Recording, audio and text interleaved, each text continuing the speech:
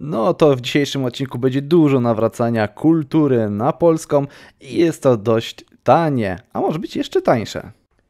No i po wojnie domowej, koniec kryzysu, wyszliśmy silniejsi. Tak, przepraszam, ale ja już tyle razy wam to pokazywałem, a to jest dość nudny etap rozgrywki, że pozwoliłem sobie to skipować. Pamiętajcie, żeby cały ten event wyszedł, musicie mieć na koniec 65 absolutyzmu, żeby dostać maksymalną liczbę punktów absolutyzmu zwiększoną. No u mnie to tak średnio wyszło, okazało się, że przez cały czas nie mam punktów administracyjnych dodanych, co w sumie nie jest niczym złym, bo w zasadzie od tego momentu ich dopiero potrzebuję a tak czy siak mam te 100 punktów absolutyzmu teraz maksymalnie. W 1644. Dość sprawnie nam poszło. Ekonomia, jak widzicie, też dość potężna jest, no mimo iż mam 6000 zadłużenie, e, bo pozwoliłem sobie w międzyczasie 10 lat poświęcić na budowanie manufaktur po prostu i ekonomia nam wystrzeliła praktycznie 100 golda więcej niż przed e, eventem. Ale teraz wojsko w górę, forty w górę, Boże, moje Army Tradition. Ale tutaj nie ma nic dziwnego w tym, bo tak naprawdę Army Tradition i tak przestaje istnieć podczas tego eventu. Za często się mi zdarzało, że dostawałem karę minus 25 Army Tradition. A my się zbieramy i mamy w zasadzie dwie wojny, ale ważniejsza jest wojna z Bułgarią żeby ją tutaj stoczyć szybko i odbić terytoria dla Bizancjum. Albo nie, dla Nowogrodu w sumie pierwsze, bo tutaj ja będę to korował wszystko, więc jolo, Nowogród. O Boże, a co to? Znowu pacyfizm. W sumie na tym etapie rozgrywki to już też rekrutuję takie armie 30-tysięczne, tylko i wyłącznie z piechoty składającej się, którymi chodzą teraz po mapie i tutaj będą zaspokojały wiecznie buntowników. Wykonałem też tutaj troszeczkę dalszych misji, żeby dostać e, claimy na prowincję, no ale nie wszystko będę brał z dalszych misji, bo na przykład tutaj Provincial War Score Cost oraz e, Core Creation Cost to sobie wezmę mm, za jakiś czas, jak odparę erę absolutyzmu gdzieś tak za chwil parę. Co ja mówię, złotą erę. Człowiek chciałby coś więcej podbić, a tutaj nidyrydy. No to wreszcie nadszedł czas na Bułgarów. Lecimy z nimi. Toskania się na nich wypina.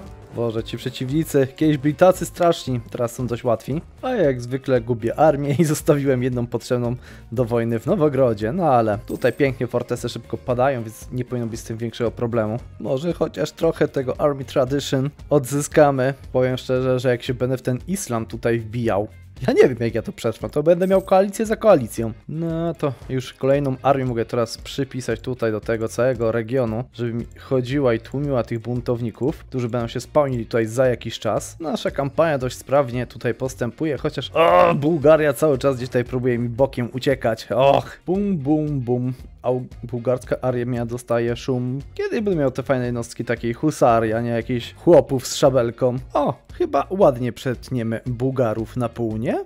No, zaczyna to jakkolwiek wyglądać, chociaż mam wrażenie, że coś tutaj się o wiele mniej bierze tych prowincji niż normalnie. Mam prawie setkę absolutyzmu już nabitą, a biorę nadal za 100 punktów overextensji. Przecież na tym etapie gierki już powinienem brać za, na 150, coś ten deseń. No nic to, my zmierzajmy ku stepom, żeby tutaj padły naszą ofiarą. Wreszcie przed czas na nie. A potem chyba Gazikum polecę. I w sumie to jak patrzę, to tutaj do, zdobędę cały trade krymski i potem od razu w perski bym się wbijał, żeby lecieć od razu do Indii. Bo do standardowego WCK to rzeczywiście mam jakieś 1000 punktów dewa za mało, żeby jakby to miało wyjść. No ale tutaj mamy 100 lat więcej, więc nie będę płakał. Wojna rozpoczęta, przywracamy znowu nasz pacyfizm. Pamiętaj imperialisto, na stronie meba.com możesz nabywać gry z kodem LUKAS. Możesz to zrobić mając 3% obniżkę. Linki w opisie. Chociaż nie, ja muszę się najpierw w Nizaridów wbić. Dlatego, że po pierwsze są największym naszym zagrożeniem, a po drugie tutaj mamy Ziemię Święte, które musimy zdobyć, żeby dostać więcej misjonarzy. Przecież jak ja będę musiał nawracać Trade Company, to bez dodatkowych misjonarzy mogę temu nie podołać. Tutaj przejścia broni nam naprawdę potężna forteca szóstkowa. Manufaktury. I nie u mnie, każda prowincja ma manufakturę, ale nie u mnie ma się to odpalić. No okej. Okay. Lecimy wywalczyć sobie teraz pokój z Dulkadirem. Nie ma sensu brać nic od niego. Wow! Austria powstała! Fajnie, bo mi się myliła kolorkiem z Sycylią. Ta Styria, więc teraz będę wiedział, gdzie mam co podbijać. Ja już wam za bardzo tego nie pokazuję, ale ja wciąż kasuję budynki i stawiam wszędzie budynki do gatheringu. Jest to super ważne przy WCK, żeby każdy jeden każda jedna prowincja miała ten budynek, dosłownie każda. I też super ważne jest to, żeby przynajmniej, a widzicie, tutaj się zagapiłem, na jeden obszar był już ten budynek który zmniejsza nam 20-40% e, governingu na cały obszar jeden. Tylko tutaj to znowu decyduje, gdzie mam te najtańsze. Dobra, czekajcie, manufaktur jeszcze nie mam wszędzie postawionych? Jak do tego mogło dojść? Zobaczcie, te manufaktury postawię. Bo jeszcze mały zapas mam. Od Dulkadiru biorę tylko złoto, żeby mieć 7-letniego trusa, bo już wykombinowałem, że dojdziemy tutaj granicą do Korostanu i wykorzystamy jego Reconquest Cassius Belli na cały region. No to teraz czas na wojnę z Gasikumt. Dulkadir dał im sojusz w międzyczasie. W sumie to fajnie, będę miał tylko pięcioletniego trusa. Gazikum przestaje istnieć, a ja potrzebuję kolejnej armii na te tutaj regiony do tłumienia buntów. Boże, co tutaj się wyrobiło? Oriat ma wasala, Baszkirę, Sybir jest coś tam, Boże, jaki miszmasz. Zanim ja to będę mógł wszystko spokojnie podbijać. I do tego jeszcze ten Ming. Oh! No to czas dokończyć Wladimir oraz myślę, że pójdziemy na wojnę jednak z tą Baszkirą, mimo wszystko, iż będzie to upierdliwa wojna, no ale da mi to wtedy dostęp do ataku na Transoksjanę i zjadanie jej prowincji. Boże, jak tutaj to wszystko wygląda. Declare war. Ja po prostu tutaj nie patrzę z tym Oriatem, biorę jedną armię, wysyłam na ich forty. Niech tutaj mi to leci w tą stronę. Uuu, ciekawa wojna, Austria i Sycylia. Hmm, bycie republiką, czy może teokracją? Bo na tej modyfikacji bycie teokracją może mieć sens. Ale no dobra, absolutyzm i lecimy jako monarchia. W sumie zaczynam mieć kapa punktów dyplomatycznych, no to może to jest w czas najwyższy, żeby tą kulturę zacząć u nas zmieniać powolutku już, nie? Też tak myślę, jak dobrze się ze mną zgadzacie. Moi kochani widzowie, jakie to tanie! Ale to jeszcze nie jest maksymalne. My możemy mieć to jeszcze taniej, ale samo nam wpadnie za chyba 50 lat, jeżeli dobrze pamiętam. No, dobrze pamiętam. 1700 Enlightenment, Culture Conversion Cost, minus 25%. No, o, te, o tym chyba zapomniałem, nie? Bo obecnie mamy 75%, a jeszcze 25% nam dojdzie. ale czemu ja miałem białoruską kulturę wybraną? What the fuck? W sumie za najdroższą płacę 67 punktów. What the fuck, a co w tej wojnie robi Ming? A forty wciąż stoją. O, to będzie dłuższa wojna niż się spodziewałem. Ten Ming ma jednak sporo armii, która się we mnie może tutaj nieźle wbijać cały czas. Zobaczymy, czy my damy im radę. Eee, no i pewnie, że to padnie, ja się teraz wbijam w nich na dwóch minusach, albo trzech nawet. O, to będzie bolało. Ale i wygrana jest nasza. Nienawidzę bić się z Mingiem, jak on ma pełen mandat. Po prostu nienawidzę. Płoń, Pekinie, płoń! Aż miło patrzeć, jak ta kultura się zmienia na jedną prawilną. Naprawdę, przez to, że kupuję prowincję z Chinaware. A ile to pieniążków mogę tutaj zabrać? No to całą Baszkirę biorę dla siebie w tym momencie. Chociaż widzę, że chyba będę miał problem z korowaniem. Nie, nie mam na szczęście. I możemy od razu atakować Transoksjanę. Chyba, że mogę już Dulkadir. No to Dulkadir atakujemy. No i wchodzi nam manufakturyzm. Atakujemy Dulkadir i naszym celem będzie tutaj wasalizacja Korostanu również. Coś dużo tych państewek tutaj jest, no ale trudno. Ile tutaj nowych state'ów mi doszło, które muszę... Czekajcie, tu muszę czy nie muszę? Która tu jest Europa? O ile tu jeszcze jest Europa, dobra, tu jeszcze jest Europa, więc tutaj dodaję sobie, tu gdzie mogę, to po prostu robię state'y, a całą resztę już nie. Dobra, czas powiększyć nasze A, wreszcie mamy husarię skrzydlatą.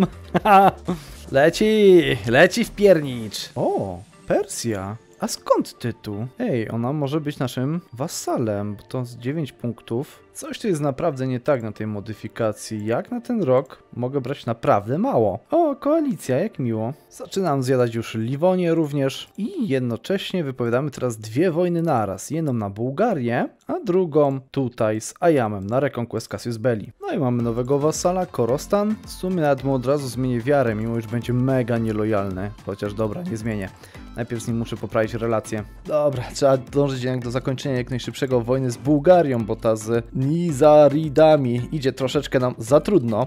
Zobaczcie po prostu, jakie tutaj siły wszędzie chodzą. Chociaż tutaj, jak bitwy bają bez generałów, to idą nam całkiem nieźle. Jeszcze w górach. Kolejne idee bierzemy o dyplomatyczne, chciałem powiedzieć ofensywne, bo się nad tym zastanawiałem, ale nie. Provincial War Score Cost minus 20 będzie nam niezmiernie potrzebne tutaj. Naprawdę mam wrażenie, jakby Administrative Efficiency w ogóle nie działało, no bo zobaczcie, taki mały kraj jak Bułgaria, 227 punktów War Score'a cały czas. Przecież normalnie to już powinno być na jedną wojnę. Co prawda, tutaj modyfikatory widać, że występują.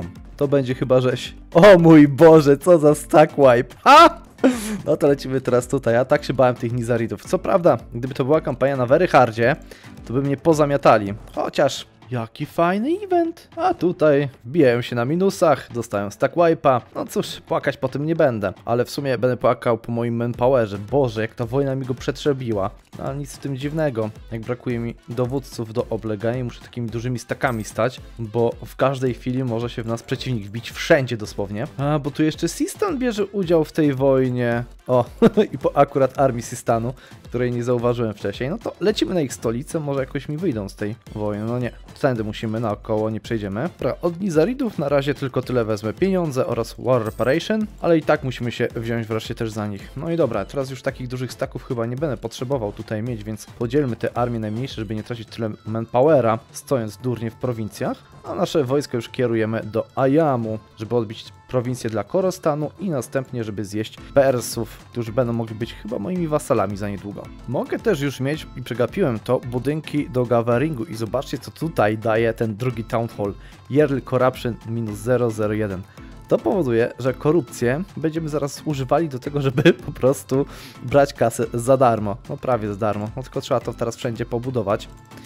No ale zacznijmy spamienie tego. Ja naprawdę podziwiam boty za to, że mi lecą okupować moje najbardziej wartościowe prowincje na Syberii. Kolejny sojusznik Ayamu Więty, no i w zasadzie zostało nam skończyć ten kraj. Trochę nie za dużo tych prowincji odbiłem dla Korostanu, no ale wszystko co tak naprawdę mogłem od Ayamu przyjąć dla siebie. Resztę to już będzie tylko trzeba poprzez Persję.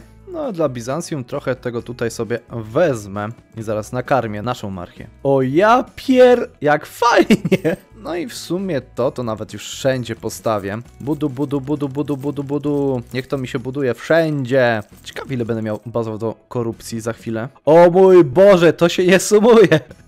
Reszty prowincji Bizancjum nie może przyjąć, więc dobra, skoruję to na razie za nich. A ja lecę teraz na jakieś wojny tutaj z hordami, chociaż to możliwe, że skipuję, bo to jest dość nudnawe. A jeżeli czujesz niedosyt, zapraszam Cię do obejrzenia Surviving Marsa, czyli kolejnej gry od Paradoxu, w której buduję kolonię na Marsie i mam po prostu bardzo dużo przeciwności losu, od meteorytów, poklęski żywiołowe, jak i głodu.